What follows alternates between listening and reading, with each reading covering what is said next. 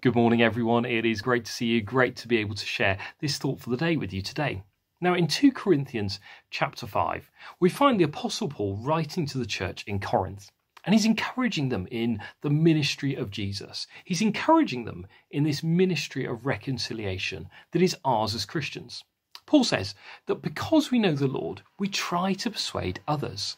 And because we know that it, what it is to be reconciled with God, we then enjoy a relationship with Him and the blessing that being, brings to our lives. And as a result, we should be passing on that reconciliation, the message, the hope, the promise of that reconciliation to others.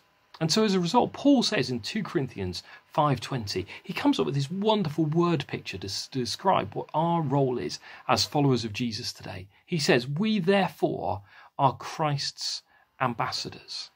And I love that image I think it's such a helpful one, isn't it?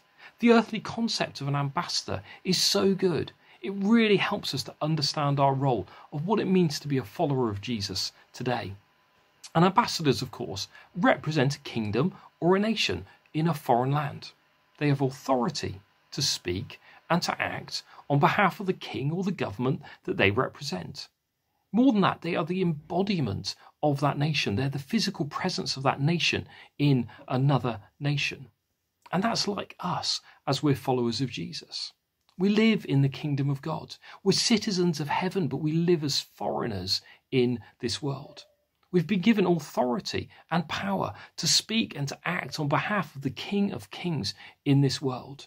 And we represent him everywhere that we go. But of course, there is a more costly aspect to being an ambassador of the kingdom. This was brought home to me a number of years ago when I was at a New Wine Leaders Conference. And there, there was a Syrian pastor called Brother Edward who was being interviewed. And Brother Edward is an amazing Christian, an amazing Christian leader in Damascus. And they said to him, they, the question, the first question really was, explain the situation in Damascus. As you'll know, Syria has been in the midst of, of a terrible civil war. And, and they said, How dangerous is it? And he said at that time it was seriously dangerous. He was pastoring people through the loss of loved ones, and many people they knew were being killed or blown up as a result of bombs. And he said this he said, This has stuck with me. He said, You know things are bad when the surrounding nations pull out their ambassadors. One by one, they pull them out because it's not safe. That's bad, he continued. But what would be disastrous is if heaven pulled out its ambassadors. But heaven will never pull out its ambassadors. And he said his children had said to them, Mum and Dad, come to America with us. It's just not safe. And his reply to them was simply this God has called us here. We are heaven's ambassadors. We are not just here to survive, but to learn how to thrive and to see the kingdom of God established in Damascus. Friends, no matter how difficult things may be for us at the moment, no matter how difficult our call, no matter what we might be facing or how dangerous our context may be, and no matter what the cost of obedience is for us personally, God calls us to be his ambassadors, and heaven never pulls out its ambassadors.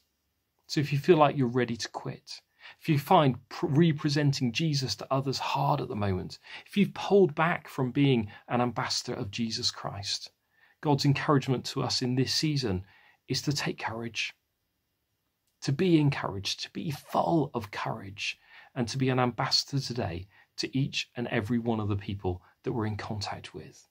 Because if I may steal Brother Edward's words, God has called us here. He's called you wherever He's placed you, in whatever your context, context is, God has called you. And we are heaven's ambassadors. And we're not just here to survive, but we're here to learn how to thrive and to see the kingdom of God established. So may God bless you today as you seek to do that, wherever God has called you today. God bless and see you soon.